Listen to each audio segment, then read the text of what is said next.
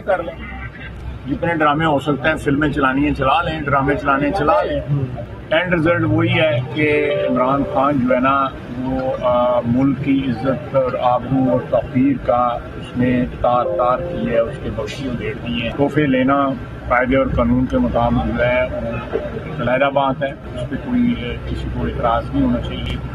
लेकिन इन तोहफों को जाके इस तरह बेचना और यू नो बाज़ार में जाके एक एक उसकी सेंटिटी होती है तोहफों की जो आपको फॉरन डिग्निटीज देते हैं। ये गाड़ियाँ कोई नहीं उसमें बता देंगे मियाँ नवाज़ शरीफ में कौन सी गाड़ी ली बंद होना चाहिए, ये सिलसिला ही बंद होना चाहिए, किसी हुक्मरान पे चाहे वो घड़ियाँ बेचने वाला हो या ना बेचने वाला हो, किसी को ये फैसिलिटी नहीं।